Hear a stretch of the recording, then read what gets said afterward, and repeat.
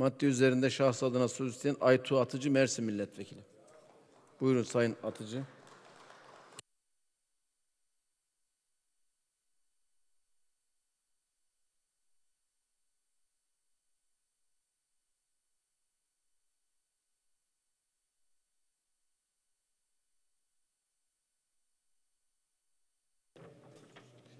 Teşekkür ederim Sayın Başkan. 651 sıra sayılı yüksek öğretim personellerine zam yapılmasıyla ilgili tasarının 3. maddesi üzerinde şahsım üzerine söz almış bulunuyorum. Hepinizi saygıyla selamlıyorum. Değerli arkadaşlarım, az önceki konuşmamda sizlerin bu yasa tasarısı ile samimi olmadığınızı söylemiştim. Şimdi eğitime bakış açınıza bir değinmek istiyorum. Şimdi eğitime bakış açınız özellikle akademik eğitime bakış açınızı aslında Sayın Cumhurbaşkanı özetledi. Milli Eğitim Bakanımız da Sayın Milli Eğitim Bakanımız buna ne kadar katılır bilmiyorum ama şu hastanede çalışan doktorları profesör yapı verelim zihniyetidir sizin eğitime bakış açınız, akademik eğitime. Bakın tıp fakültesinde çalışan öğretim üyeleri Sayın Bakan zam için size teşekkür ediyorlar. Bugün konuştuk. Hepimize teşekkür ediyorlar.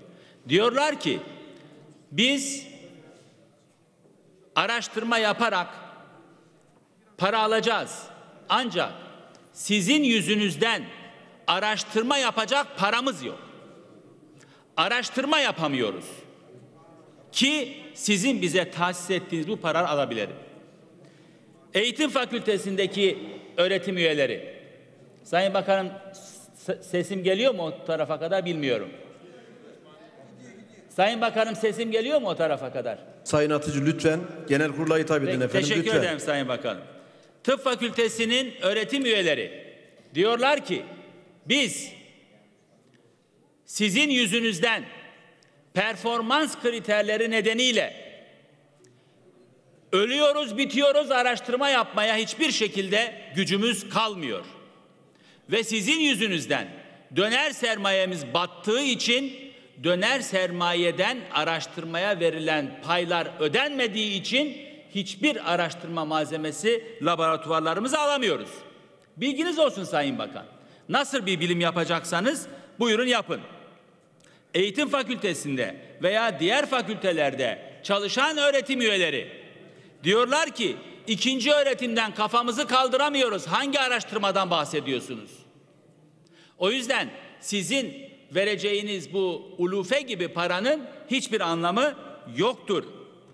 Bakın az önce AKP'den bir öğretim üyesi hocamız burada konuştu. Dedi ki doçent demek bilimsel olarak ben de varım demektir.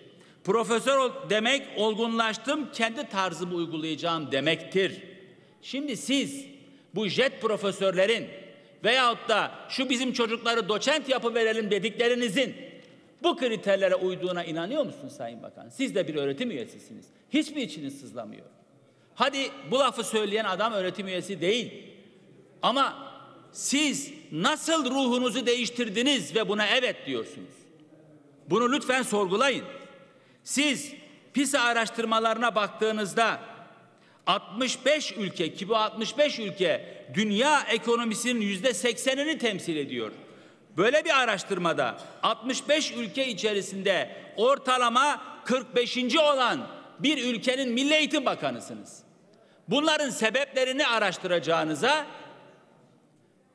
ilk ve ortaokuldaki müdürlerin kellesini aldınız.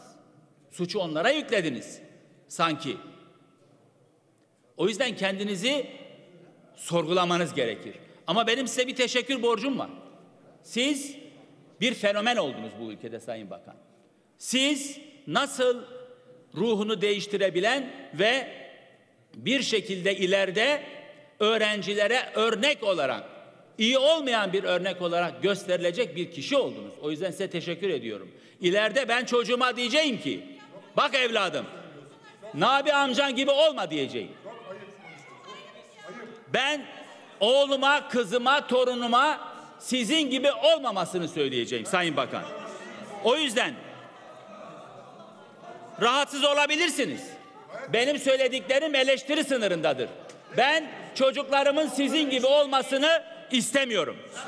O yüzden de çocuklarıma bunu böyle öğütleyeceğim.